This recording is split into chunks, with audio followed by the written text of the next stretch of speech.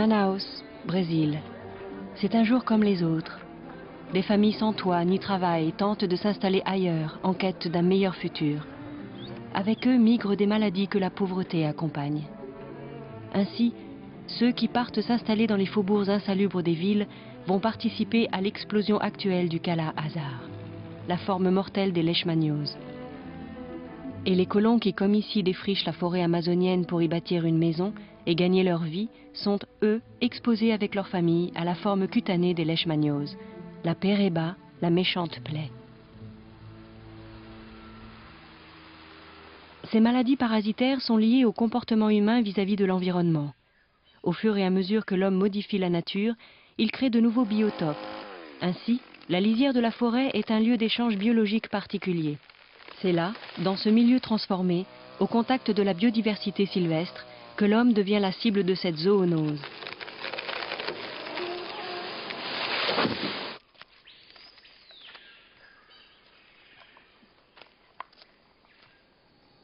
Ici, certains mammifères sauvages de mœurs nocturnes, comme cet agouti, s'adaptent très bien à la présence de l'homme, mais ce grand rongeur peut être un réservoir du parasite des leishmanioses cutanées.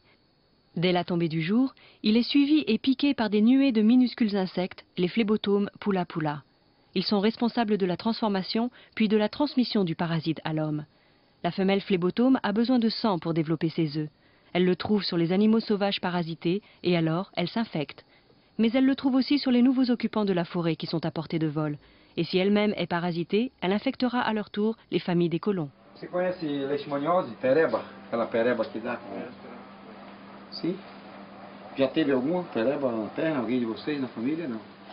Não, sim. Sabe qual é aquela, aquela ferida que dá ferida brava? sim. Já teve não? Não. Você nunca teve nenhuma? Tive tive um aqui na perna. Ah, você teve? Tive. Ah, Essa aqui tá aqui você teve uma, teve uma ferida brava. Ele teve uma. É uma lesão típica de leishmaniose. Pequena, quando foi isso? Faz tempo tá com 5 anos. Cinco anos. E quando você vai lá com o serra, aí ela, o mosquito vem, pum, é,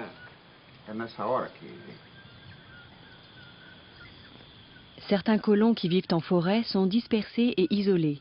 Tous risquent d'être infectés par la piqûre douloureuse du phlébotome et tous doivent pouvoir bénéficier de soins. Maltraitée, cette maladie peut provoquer des lésions irréversibles et invalidantes.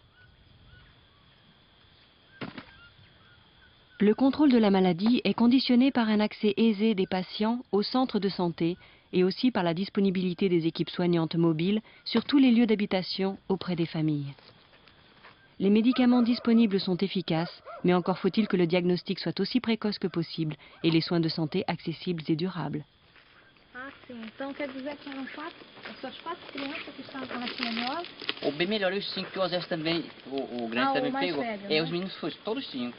Aí três já estão bons e dois... Quatro é, já estão bons, só uma que falta É, né? recuperar. é. Não, essa também está em tratamento ainda com a doutora Marcelene, né?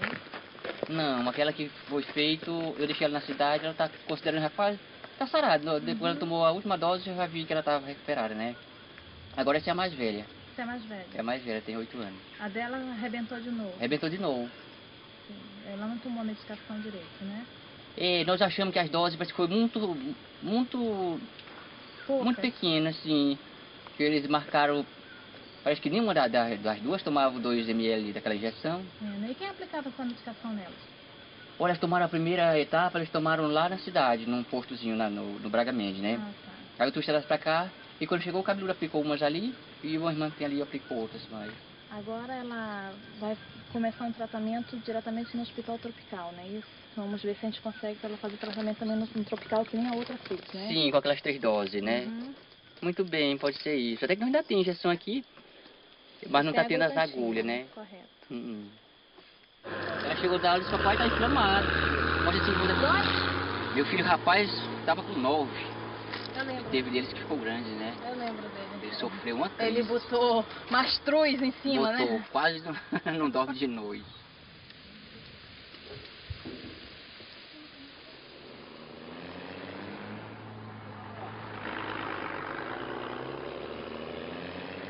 Si la flambée des cas de leishmaniose en forêt est une conséquence directe de l'action de l'homme sur son environnement, l'ampleur du phénomène de l'immigration massive en milieu forestier va bien au-delà des seules questions écologiques et sanitaires. Ici, la loi protège de l'expulsion celui qui aura eu le temps de construire avant le lever du jour le toit de sa maison. Alors les nouveaux colons construisent de nuit, à la hâte, des habitations précaires. Ils sont aujourd'hui des centaines de milliers qui urbanisent chaque jour davantage la forêt amazonienne. Dans de telles conditions, assurer la surveillance sanitaire est un défi. Avec une incidence mondiale estimée à 1,5 million de cas chaque année, cette zoonose est devenue un problème majeur de santé publique, en particulier au Brésil, où depuis plus de 20 ans, le professeur Roberto Badaro et son équipe luttent contre les maladies infectieuses sur le terrain, au laboratoire et à l'hôpital.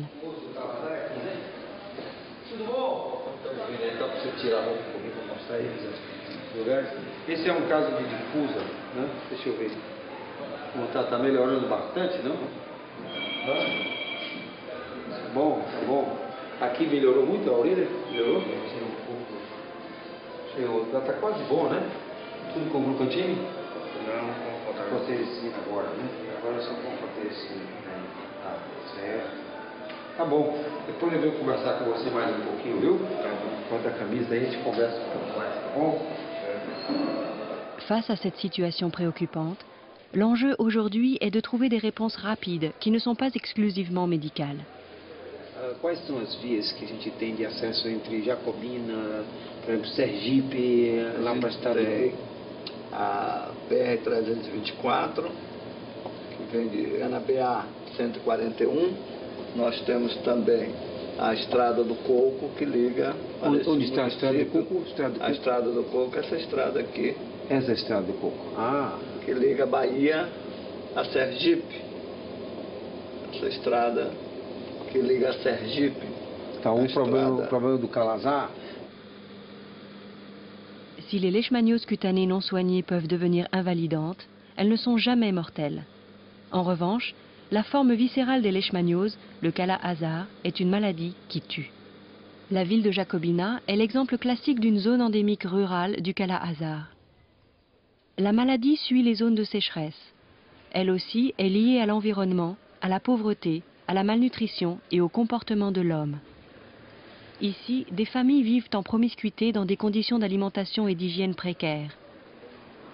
Un phlébotome d'une espèce particulière, Lutzomia longipalpis, transmet le parasite mortel à l'homme. Le chien est le réservoir du parasite responsable du Kala-Azar. Le Brésil est l'un des rares pays endémiques dotés d'un programme de contrôle canin. Chaque année, plus d'un million de chiens malades sont éliminés. Então o seu cachorro não está contaminado. Mas a senhora, mesmo assim, a senhora fica com esse folheto para se informar. Esse mosquito, o mosquito, o flibótomo, é aqui conhecido como palha na região, né? O pula-pula. Então esse mosquito pica esse cachorro doente.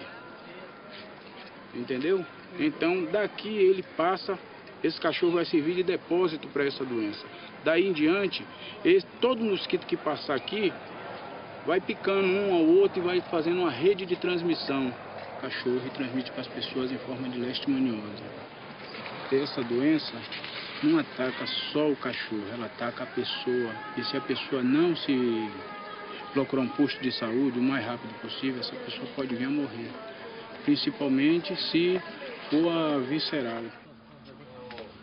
La moustiquaire demeure le moyen le plus efficace et le moins coûteux pour se protéger de la nuisance des insectes et prévenir les maladies qu'ils peuvent transmettre. Elle est encore plus efficace lorsqu'elle est imprégnée d'insecticides. Les insectes sont alors repoussés de la chambre ou tués. Mais au Brésil, les gens n'aiment pas toujours dormir sous la moustiquaire à cause de la chaleur.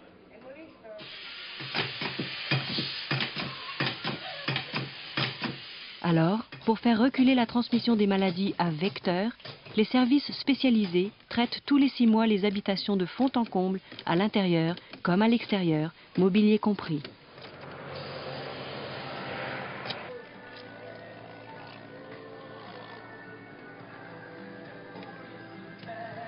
Normal?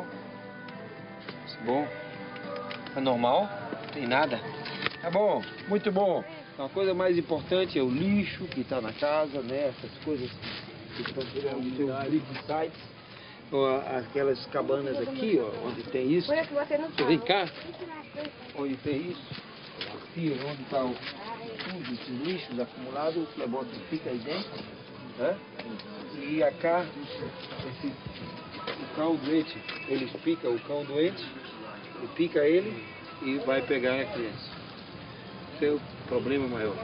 Mas a grande coisa, a coisa mais importante é conversar com as mães, conversar com elas, conversar com elas, com elas, para proteger os meninos, porque às vezes tem que levar o médico para ver se tem fígado grande, se É, não mas tem. esse mora lá naquele outro Esse conjunto. mora lá no conjunto, esse que é seu, né? Esse É. nunca teve não, nada?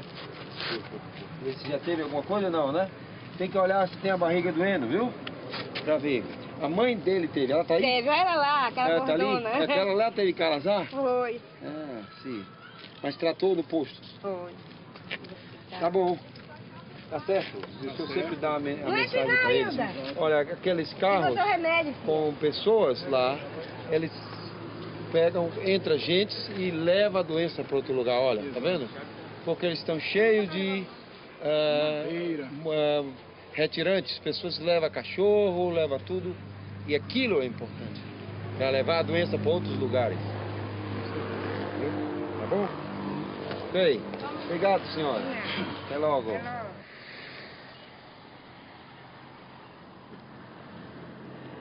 Durant les 15 dernières années, la maladie s'est répandue très rapidement dans des zones qui ne sont pas à l'origine des foyers classiques du Kala-Hazar.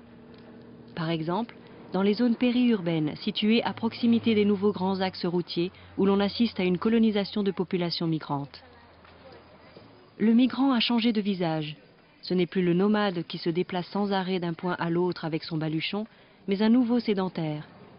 Il construit très rapidement des maisons, des villes surgissent, sans infrastructure, et les chiens sont nombreux.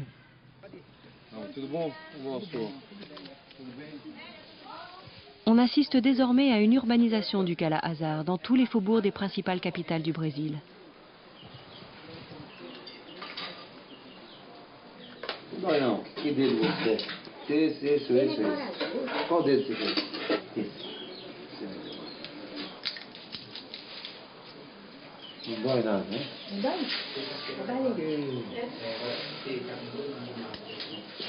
Viu?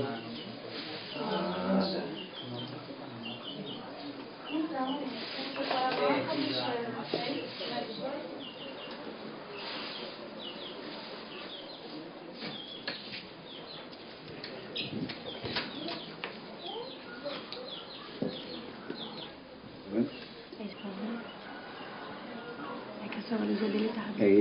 Merece tomar 10 dias de tratamento. De glucantina. Eu acho que vai ser importante para ele, porque ele já está Ele já tá aparecendo. Precisa tratar ele, viu? Porque ele está com, com uma positividade. Ele está no começo da doença. Tem o começo, olha, tá vendo? Olha aqui o chuveiro, onde já dá essa linha aqui, ó. ó ele está positivo. Tá vendo? Segura aí, João.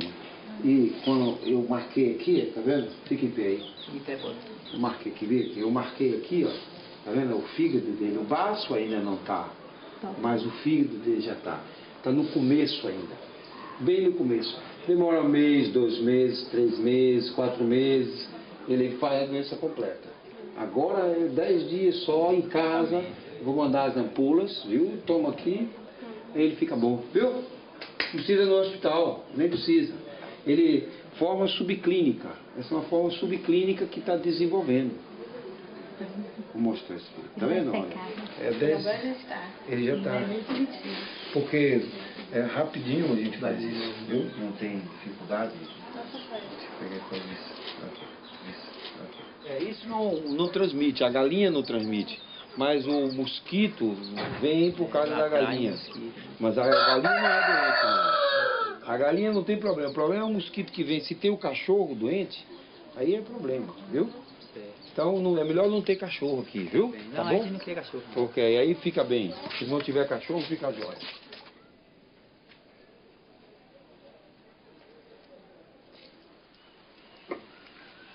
La recherche entomologique sur le terrain et au laboratoire fait partie de la lutte contre la maladie. La vie de ces petits insectes vecteurs est difficile à observer. On les capture à l'aide de pièges lumineux ou par aspiration dans les fissures des murs des habitations, à proximité des ordures ménagères et surtout dans les poulaillers.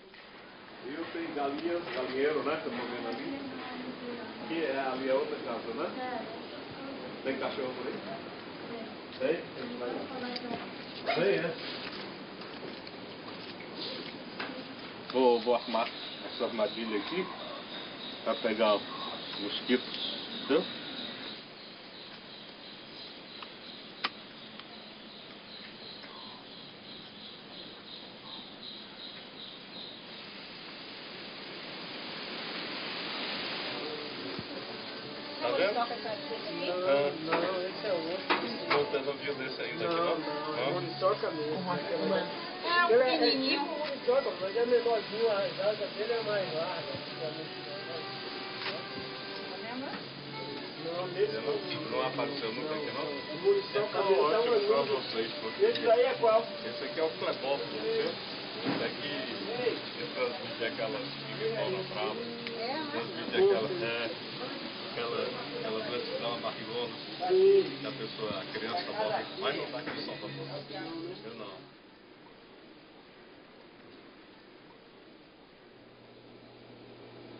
Sur les 700 espèces de phlébotomes connues, une trentaine sont à coup sûr des vecteurs des leishmanioses et quelques autres de la bartonellose et diverses arboviroses.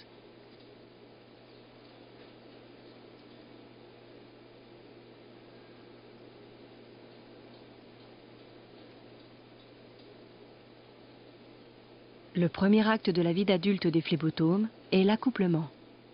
Après une copulation qui peut durer 15 minutes, la femelle effectue un premier repas de sang car elle a besoin de protéines pour la maturation de ses œufs.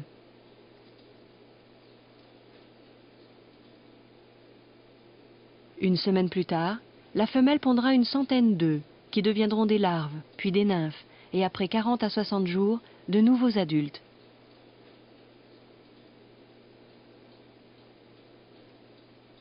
La dissection de ces minuscules insectes permet d'identifier les espèces candidates au rôle de vecteurs, d'évaluer leur degré d'infection, de mieux comprendre leur comportement, leurs habitudes écologiques et donc le cycle de transmission des maladies. Com isso, nós estamos fazendo uma comparação entre o teste direto, o exame direto de contra de leishmania e a imunofluorescência e os testes rápidos que nós estamos desenvolvendo aqui. Então, esse é um instrumento que é importante no hospital para avançar no diagnóstico. Sim, um caso positivo, cheio de leishmania, com muita leishmania, tem nessa lâmina aqui. Esse é um caso que está internado na enfermaria, está lá embaixo.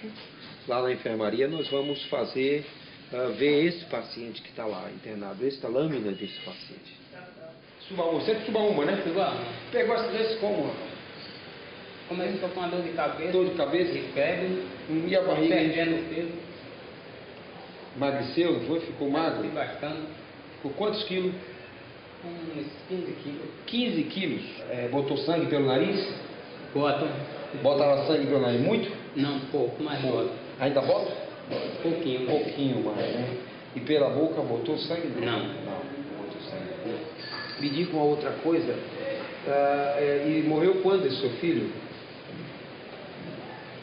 Eu não estou com a data certa assim. Mas que ano? Foi o ano passado? Foi o ano passado. O ano passado. E Morreu imediatamente.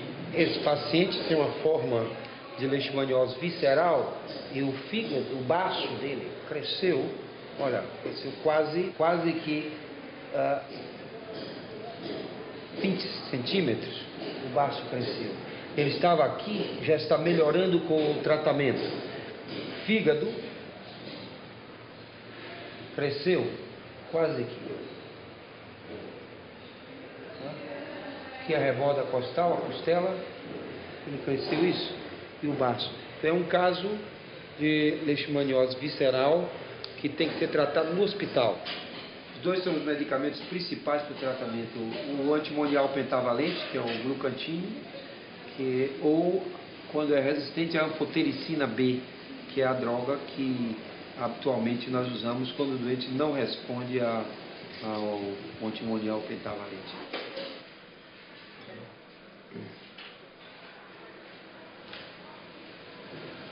Apesar de paciente tem uma suspeita clínica também de imunodeficiência, síndrome de imunodeficiência, de SIDA. Tá? Então, provavelmente seria uma co-infecção de calazar e SIDA. Como se o paciente for confirmado o diagnóstico de SIDA, esse paciente deverá entrar num programa de profilaxia para evitar a recidiva do calazar. Os técnicos da Organização Mundial da Saúde eh, fazem previsões de que a co-infecção das doenças eh, tropicais com a infecção pelo HIV pode trazer uma recrudescência muito grande na epidemia e aumentar muito o número de doenças é, dessas endemias. A leishmaniose temos o grande exemplo da Europa. Na Europa, com a infecção entre é, o, o, HIV e a leishmania, tem mostrado que realmente já mais de mil casos, quase dois mil casos dessa co-infecção. No Brasil, é, há uma ao contrário, a leishmaniose vem para a cidade e o HIV vai para a área rural. Quando ocorre essa, esse overlap das duas doenças, nós temos muito receio de que haja uma explosão de casos de leishmaniose urbana, que é onde está o HIV. Então esse é um grande problema.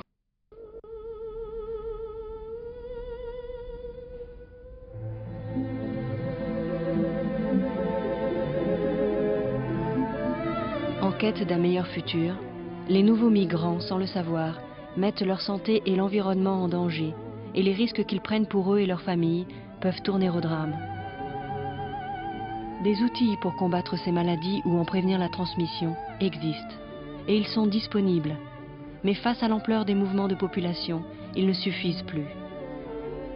Des recherches sont engagées pour immuniser la population à l'aide de vaccins et pour améliorer des méthodes de lutte accessibles à tous capable de briser le cycle de transmission de la maladie.